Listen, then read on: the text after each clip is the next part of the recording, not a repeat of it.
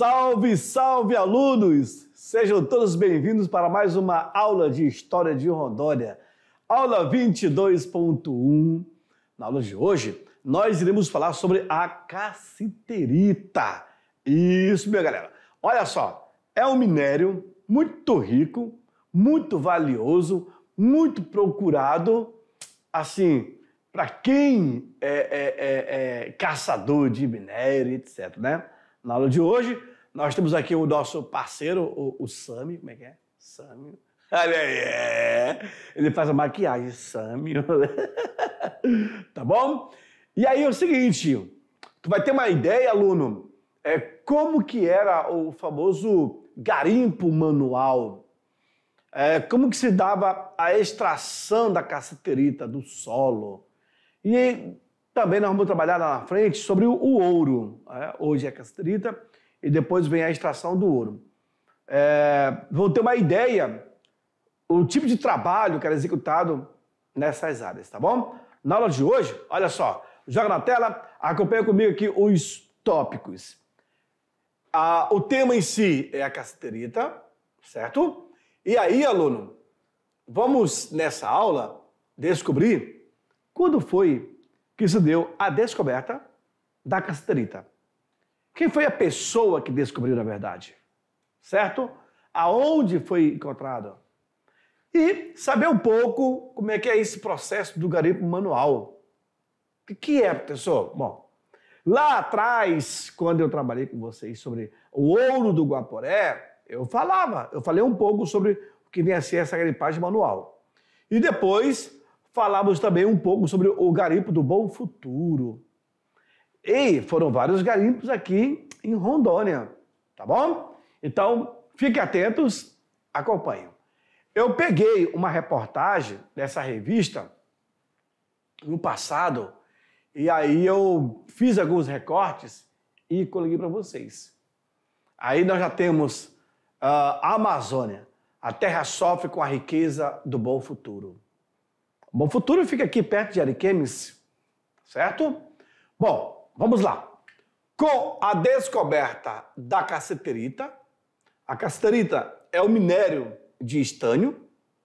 A descoberta se deu no ano de 1952, ah, pelo engenheiro Frederico Holpen, que enviou algumas amostras para o Rio de Janeiro e, depois de algum tempo, foi confirmado o seu alto teor.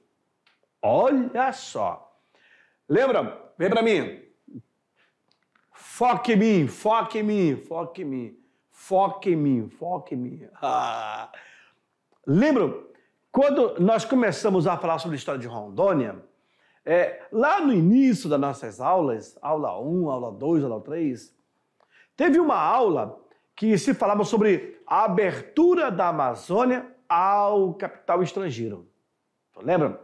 Naquela aula eu comentei para vocês que os americanos, os ingleses, queriam navegar pelos rios amazônicos para poder negociar diretamente com o caboclo. Mas não é somente isso. No século XVIII, no século XIX, já se fazia comércio. A Amazônia é muito rica, tu não tem noção. Não somente da fauna e na flora, mas no solo também, em suas águas. Ó, atualmente, nesse exato momento que eu estou explicando essa para vocês, no dia de hoje, nós temos aí a Venezuela tentando tomar posse, invadir parte da Guiana Ok? Isso pode ocasionar uma guerra. Os Estados Unidos já enviou tropas para sair em defesa da Guiana. Olha aí. E o Brasil também já enviou tropa para aquela área. Agora, aonde está o segredo? Por quê, professor? Agora que vem a bomba. Na verdade, essa área ali é, é a área mais dominada no Brasil e na América do Sul pelo PCC e pelo Comando Vermelho. Lendo alguns artigos essa semana, e traz essa realidade. Enquanto o, o, enquanto o Comando Vermelho tem 58 cidades espalhadas aqui no Brasil, regiões de grande vulto, o PCC só tem 28. Aí, 30 menos. Louco, né? E essa área é, é uma área de conflito de droga. Também. Também. E isso vai dar muito por um para manga. Então, acompanhe os noticiários, faça algumas leituras, faça algumas pesquisas, que você vai chegar lá. Eu falo isso porque a Amazônia em si ela é muito rica.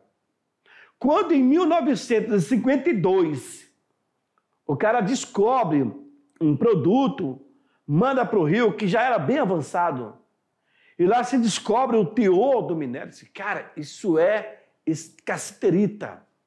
Da cassiterita eu tenho outros derivados aí, tipo é mióbio, né, é, Sâmio? Tipo o mióbio, rico pra caramba. Além das pedras preciosas, diamante e outros e outros outros. Agora, nós vamos focar na questão da cassiterita. Então, olha só nessa imagem, joga no quadro lá. Olha essa imagem dos caras trabalhando manualmente. Isso é um garimpo manual. Os caras estão cavando para encontrar o minério e aí Claro, vocês inclusive vão saber o preço dele nessa aula. Olha só. A cassiterita, ela teve grande aceitação no mercado internacional. Começava a imprimir o desenvolvimento de alguns setores, dando uma nova dimensão econômica para o território federal, aí nesse caso do Guaporé. Se é em 52, em 56, 1956, olha aí, em 52 foi descoberto o achado. Em 52, 53, 54, começaram a chegar muita gente para cá também. E isso vai inchando o Estado. Não, não, não teve outra. Em 56, vai ser criado o território federal de Rondônia. Então, nós já saímos do grande fluxo que foi a, a Segunda Guerra Mundial, tínhamos aí a, o, o, corte da seringa, um grande contingente nordestino que veio para cá para os seringais, ah, e agora eu tenho a castanita. Esse assunto que eu menciono com vocês é o famoso assunto dos ciclos econômicos, que cai muito em concurso.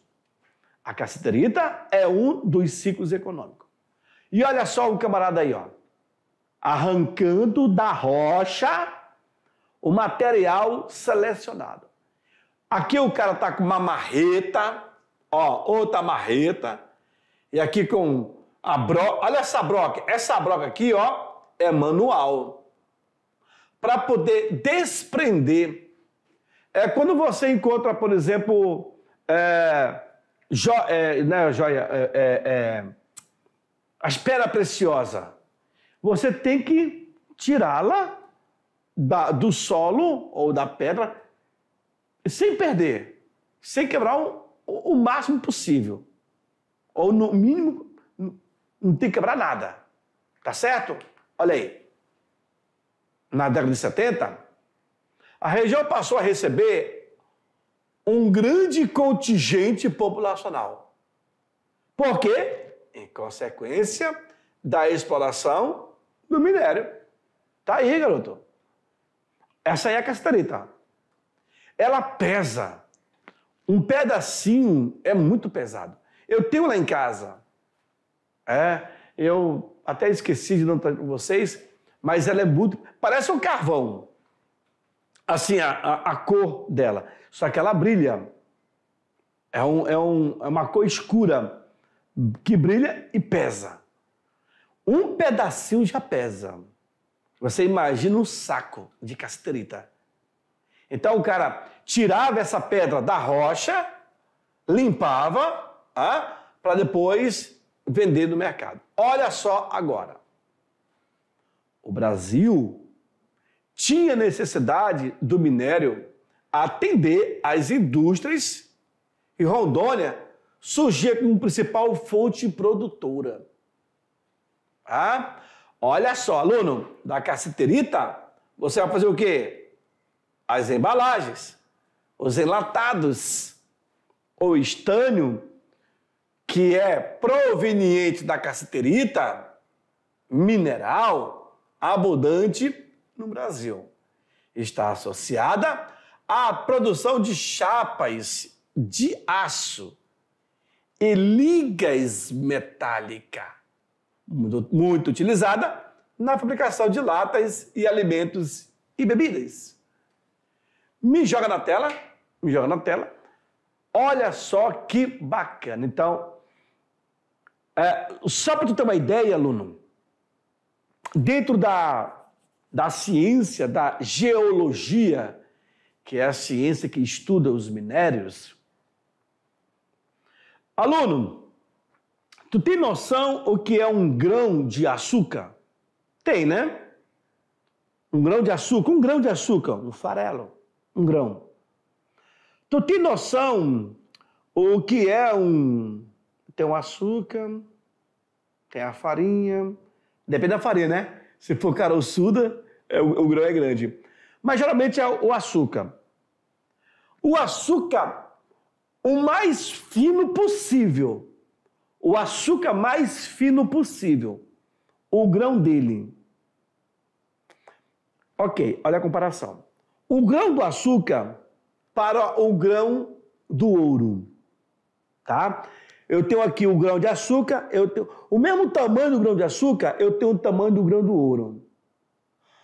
Aquele grão do ouro, tu não sabe o tempo que ele leva para é, unir-se na natureza. Porque são, são, são minerais que se atraem e ali ele forma aquela, aquele grão que é o ouro. Você imagina uma pepita, uma pepita de 10, 15, 20, 30 gramas. Cara, um grão já leva milhões de anos. Você imagina a pepita. Isso dentro da ciência da geologia. Ela explica isso. Eu estudei geologia na arqueologia. É muito louco. É igual você pega assim, uma árvore, você pega uma motosserra, você corta a árvore. Ali você vê a digital da árvore. Nítida. Então, a digital que é chamada de anéis da árvore. Então, cada anel daquele corresponde anos é que ela vai enlarguecendo e crescendo. A rocha é a mesma coisa. Eu tenho algumas rochas em casa guardadas que você vê nitidamente ela sendo feita, moldada Incrível. É, é muito louco. O cara que estuda geologia, nossa. E o estânio, olha só, o estânio, ele é um derivado da cassiterita.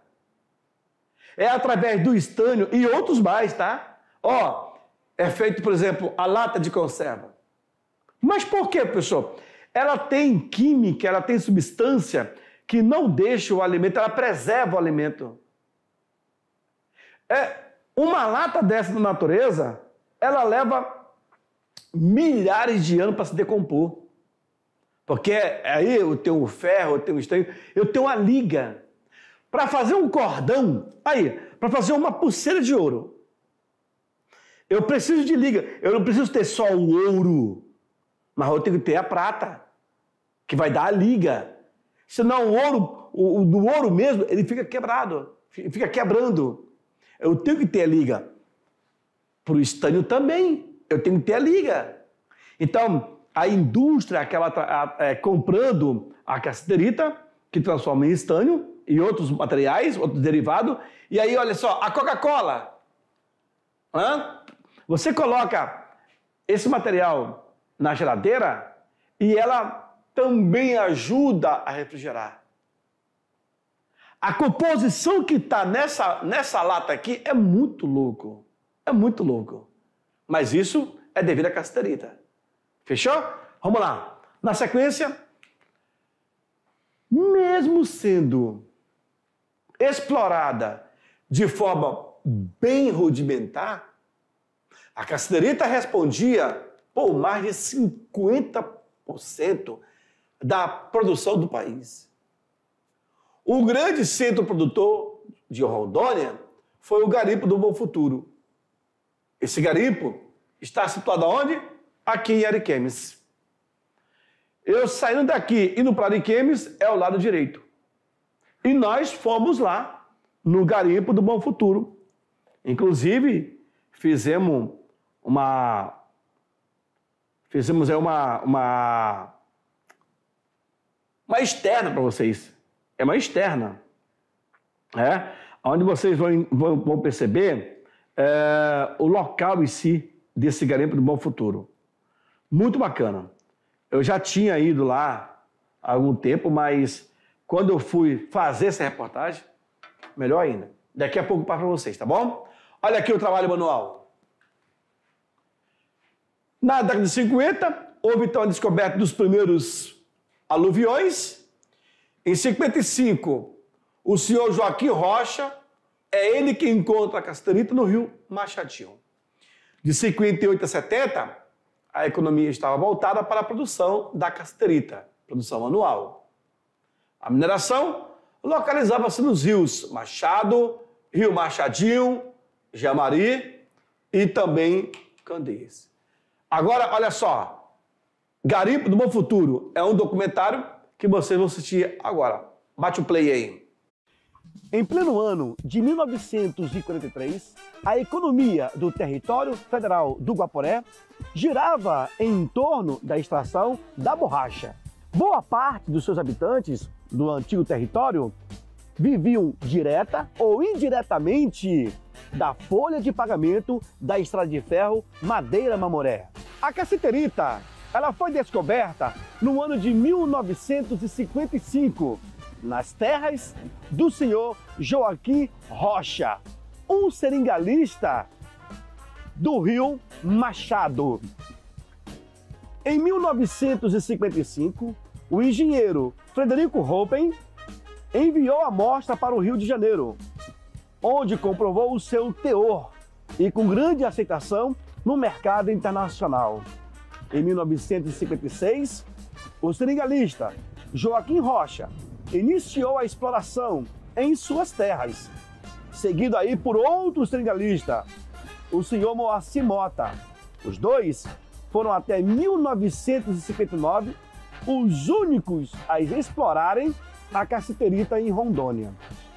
A caceterita é a matéria-prima para a produção do estânio. É relativamente rara na natureza e sendo usado crescentemente na indústria. Mesmo sendo explorada de forma rudimentar, a caceterita respondia por mais de 50% da produção do país.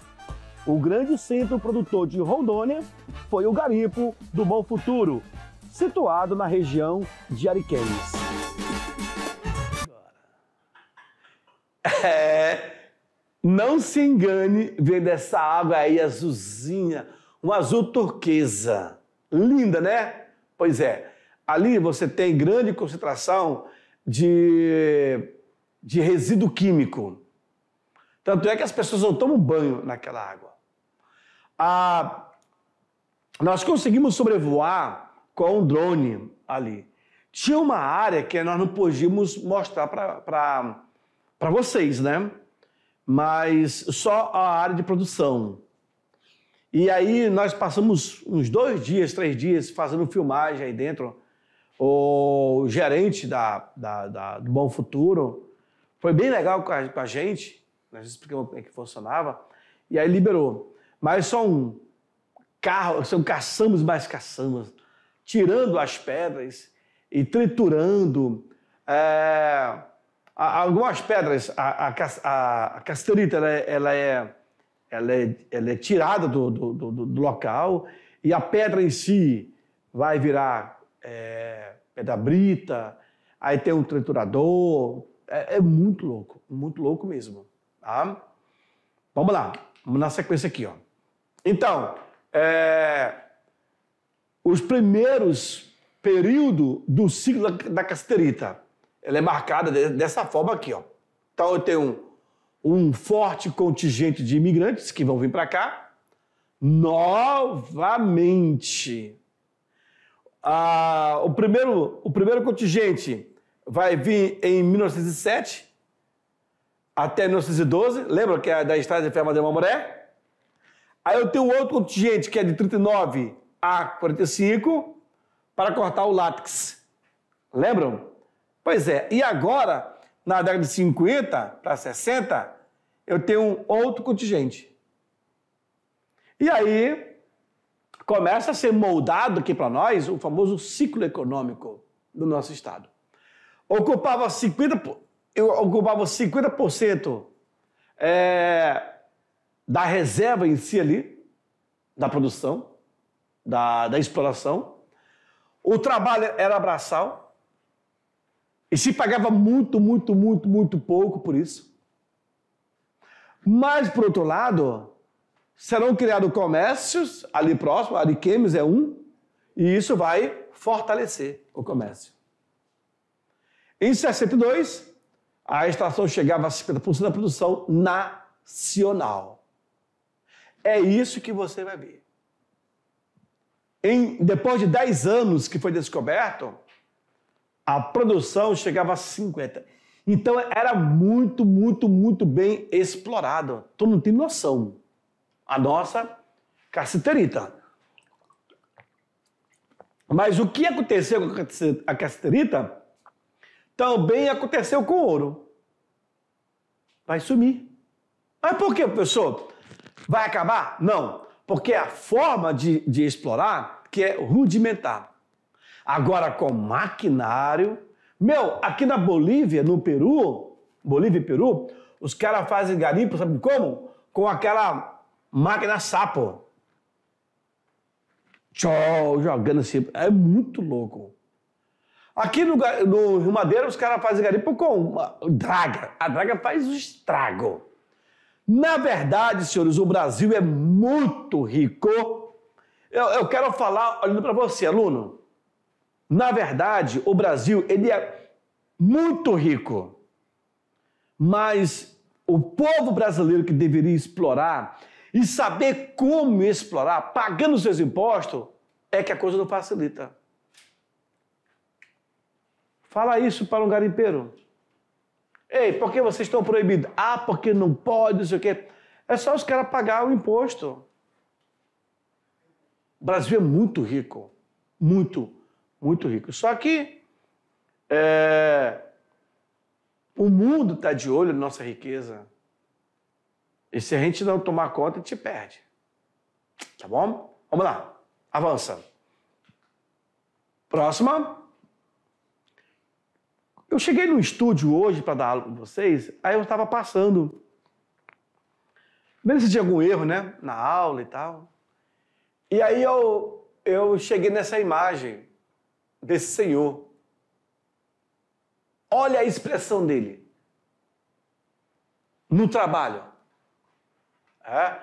O cara coloca uma camisa na cabeça para se proteger do sol, não tem luva, não tem máscara, não tem uniforme adequado, não tem nada, senhores. Ele só tem aí, sabe o quê? Força de vontade e o sonho de ficar rico. É o que ele tem. Você imagina a mão desse cara de calo, de grossa. Talvez é casado, deixou a família, vai ir para o garimpo para ver se ganha um dinheiro. Mas está aí, ó, na batalha. Isso aí é o trabalho manual. Muitos, muitos seguiram esse caminho. Uma boa quantidade não voltaram, perdendo suas vidas. Somente quem, quem, quem passa por essa experiência vai perceber que vale a pena ou que não vale a pena. A descoberta do minério atraiu milhares de imigrantes oriundos, principalmente do Nordeste, novamente, Samuel, novamente. Veio o nordestino para a construção da cidade de Ferro de Mamoré, veio o nordestino para o corte da seringa, veio o nordestino agora para a casterita, constituindo-se em uma mão de obra é, numerosa para trabalhar na sua exploração. É aquela coisa, né? O cara está desempregado. Meu, abriu um garimpo e tal, o cara tem a prática, ele vem para cá. Ganhar um dinheirinho, ver se ganha alguma coisa. E aí, isso deu certo, ele volta. Quando volta, né? As pedrinhas pretas da fortuna. As manchetes do Brasil traziam assim, ó, Amazônia. Olha só isso daqui sendo impactado. O trabalho que os mineradores tinham de retirar a casterita do solo era totalmente manual, senhores, e de forma bem, bem rudimentar. Então haja braço humano aí para poder fazer isso. E o impacto ambiental vai sendo criado. Ah? Olha aí, os caras com a camisa, levando de lembrança que garimpou no Bom Futuro. Eu estive aqui. Os mineradores faiscavam em grupo ou isoladamente e acabavam sendo explorados por grupos que formavam uma verdadeira máfia na garimpagem. Como assim, professor? Meu, era simples. O cara que garimpava individualmente, ele estava numa área garimpando, opa, pode ficar aqui não, por quê? Essa tá aqui tem dono. Aí os caras é, alugavam terras ou vendiam terras. Pilantragem. Em outras palavras, máfia. O cara chega, olha só, vem para mim aqui. O cara chega no garimpo, aí quer garimpar. Peraí, a garimpar onde? Peraí. Tudo isso aqui tem dono. Tudo isso aqui tem dono. Se você for querer é, começar a garimpar, ei, quem mandou tu garimpar? Isso aqui é meu. Ele arrendou aquela terra. Ele comprou aquela parte. Ou ele está pagando para uma pessoa. Aí logo você procura o encrenca. Mas se você chegar, se tem trabalho? Tem. Ó, eu tenho uma terra ali, então tanto por cento é meu. E é assim. Aí quando o cara sai daquele, da, nós chamamos de fofoca, sai daquela área, vai para uma outra. Meu, grupos mafiosos acabam sendo criados. Tudo isso para tirar você de cena. Joga na tela? Por isso que os caras vão levar aí, ó, aí a caçamba, a pá carregadeira, é, trabalhando no garimpo. Os mineradores eram submetidos a duras condições de vida e remuneração extremamente baixa. O minério garimpado era vendido na boca do garimpo, lá mesmo, para os grupos de garimpeiro que detinham o controle da região. Viu? A máfia. O cara está ali naquela terra, e aí, o que você quer limpar, vai vender lá mesmo. Não, eu vou na cidade, onde é que tem, tem, tem, tem castaneta? Deixa tudo aqui. É vendido. Então aqui, digamos que você pagava 10 reais lá na boca do garimpo. Lá fora, você vendia por 50 reais. É como se fosse hoje o, o, o grama do ouro. Dá um Google aí. Tá quanto o, o grama do ouro? Se não me falha a memória, o grama do ouro está em torno de 305 reais. Só confirma para mim, o grama do ouro atual. Mas se você está no garimpo, vai vender o ouro, os caras vão te pagar ali uns 280 reais. Ele está 305 na bolsa de valores. É diferente. É? 323, muito bem. Rapaz, esse meu, esse meu do, é 323,38 centavos hoje. Você é demais, meu produtor, você é demais. O grama do ouro hoje está aqui, ó. Mas isso aqui é em São Paulo, é na Bolsa de Valores. Lá no garimpo, talvez os caras estão pagando 290 reais. Lá no garimpo. Dinheiro vivo.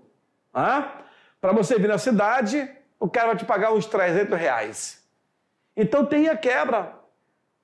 Tem um controle. Os caras que detinham a região. Fechou? Em 69 foi criado o Departamento Nacional de Produção Mineral, mais conhecido como DNPM. Esse departamento ele só foi criado para regularizar a exploração da cassiterita. O governo tinha que criar uma estatal é, que ficasse responsável pela exploração, em vez de deixar que pessoas de outros países viessem e explorassem. Então houve a criação da província estanífera de Rondônia, que é a DNPN, houve no Acre, houve no Amazonas e também Mato Grosso. Tá bom? Já em 68, a BR-029 ela foi consolidada, passando para a BR-364. Em 66, o Quitubec chega em Porto Velho rasgando a BR. O que era 029 passou a ser chamado de Belém, Brasília. E é Mato Grosso, Amazonas. Vou levar alguns nomes, né? Até chegar de fato no nome da BR-364. Olha aí a castrita. A portaria ministerial de número 195 de 1970, essa portaria proibia a garimpagem manual. Ah, então eu não posso Não, é proibido. É lei federal. Mas por que isso? Ah, porque agora começam a terceirizar o, o, o, a garimpagem. Agora, empresas é, vão se inscrever no governo e ganhar o direito de garimpar. Vocês vão ver. A desativação da garimpagem manual ocorreu no dia 31 de março de 71, o mês e o ano que eu nasci. Só não foi dia 31, foi dia 4. Esse aí é castrita. Ah? Segundo período da caceterita. A portaria 195 de 1970 causou sérios problemas. Quais? A falência do comércio que estava no entorno. E ao causar essa falência, também vai causar o quê? Desemprego. E aí, senhores, não deu outra. Só está caindo. No final da década de 70, Rondônia passou a ser o maior produtor de casterita, com 67%, cara. Nossa! Foi para cima, né? Grupos econômicos transnacionais, como o Brumadinho, vocês conhecem, lá da barragem Brumadinho, a Brascan, a Paranapanema e a Best. Esses são os grupos que foram criados para poder explorar a castanita. Em 83, Rondônia perde a colocação de maior produtora para quem? Para Presidente Figueiredo, no Amazonas. E olha que nós chegamos a 67%. Fechou? Em 87, com o Garimpo do Bom Futuro, Rondônia volta a ser o maior produtor novamente. Hoje, o maior produtor é o Amazonas, da caceterita. Em 90, foi criado a Embessa, Empresa Brasileira de Estânio.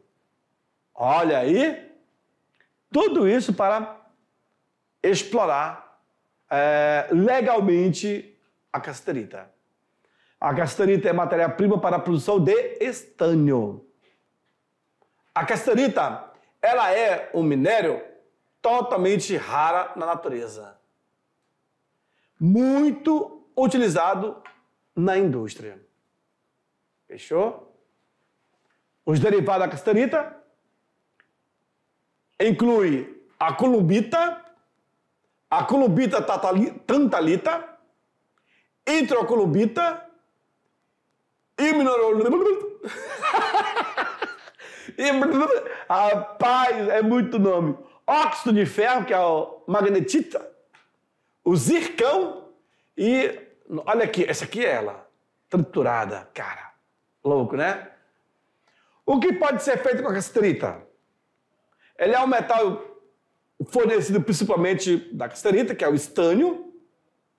Ele é da fabricação de latas de conserva, na obtenção do bronze, usado em esculturas nos sinos, também refrigeradores, ar-condicionados, de ar, radiador de carro, solda e tantos outros. É? Qual o metal obtido da casterita? É o estânio. A casterita é um dióxido natural e principalmente minério de estânio. Aqui tem a, a sigla, né? Da tabela periódica. De cinza, ou preta, ou vermelha. Marrom, branca e amarela. Correndo, ocorrendo na forma de cristais tetragonais. Tetragonais. Tetragonais. O nome provém do grego cassíteros, que é estânio, e do latim cassiteru, em francês, cassiterite, Casterrite. Olha lá. Aí, o valor. Qual o valor? De acordo com a fonte de 2001, 2011, cada quilo da casterita foi vendido no valor de 18 reais. Cada quilo. Cada quilo. Isso. É, no mercado negro, em São Paulo, o preço médio é de 23 reais. Atualmente, olha aí o preço. 56 reais o quilo. O quilo. Mercado Negro, de acordo com o Instituto Brasileiro, o elevado valor da casterita pode ser um dos fatores que atrai as organizações criminosas. De acordo com a agência MF Rural, o preço da casterita em Ariquemes, Rondônia, em 2019 era de 34 reais. Hoje, ela está em 56 reais. Louco, né? O quilo. Imagina uma, um saco de 50 quilos, hein? É muito caro, bicho. E é pesado pra caramba. O diretor André Reis informou que cada tonelada de minério, em média, 25 mil dólares. Ele informou que cada tonelada é 25 mil dólares. Ou seja, 50 mil reais, uma tonelada. E aí, para fechar, o choque do garimpo, senhores. O impacto ambiental. Muito louco, né? É por isso, para mim, é por isso que grupos bem organizados procuram deter ali o controle da região que possui lá o minério, que possui riquezas da fauna e da flora, enfim, de uma certa forma, que esteja envolvido ou que ganhe dinheiro através de algo lícito ou ilícito. Daqui a pouco eu volto para a revisão.